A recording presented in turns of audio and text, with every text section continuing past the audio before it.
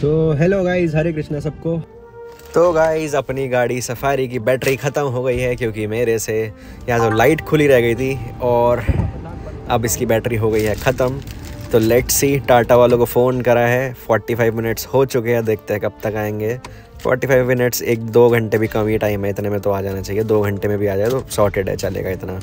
AC बंद कर देता हूँ।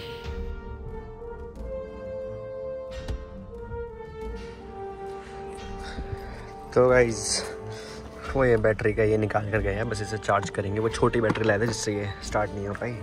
बाकी तो सब नॉर्मल है कुछ ऐसा खास वो नहीं है टाटा वाले आ गए थे। स्टार्ट करके दे देंगे। पता नहीं कितनी देर में बस वो है।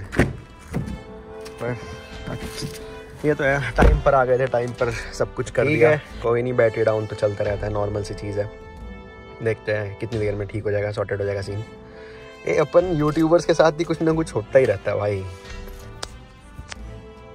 तो भाई टाटा वाले अब फिर से बड़ी बैटरी लाए और बड़ी बैटरी से हम स्टार्ट करने की ट्राई कर रहे हैं और इससे भी स्टार्ट नहीं हो रही है गाड़ी।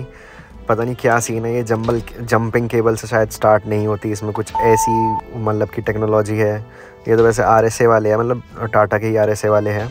एक ही बात है बट स्टार्ट तो होनी चाहिए ना यार गाड़ी स्टार्ट नहीं हो रही है। लेट्स सी ये लोग टाटा वालों को भेजेंगे मतलब कि जो मेन टाटा के टेक्नीशियन है, वो आएँगे मतलब इलेक्ट्रीशियन टेक्नीशियन वगैरह।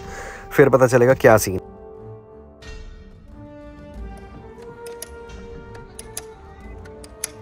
अभी कर रहा बच्चे अभी। तो देखने अभी कर रहा। स्टार्ट करूँ?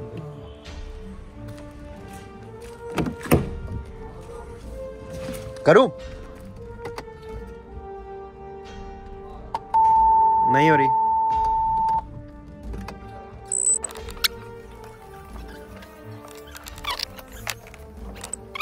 कर दी।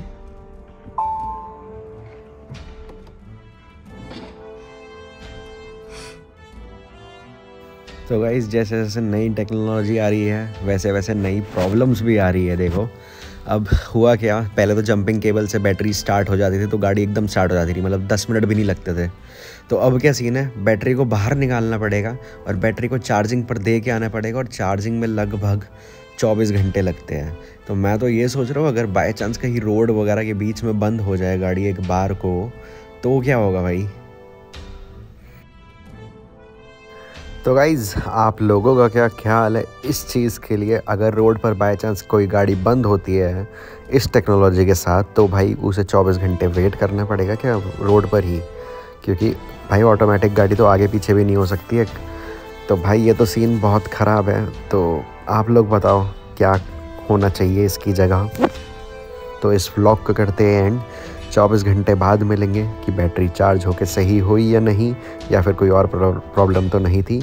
तो guys Hare Krishna thank you for watching subscribe कर लेना। 24 घंटे बाद मिलते हैं गाइज़ थैंक यू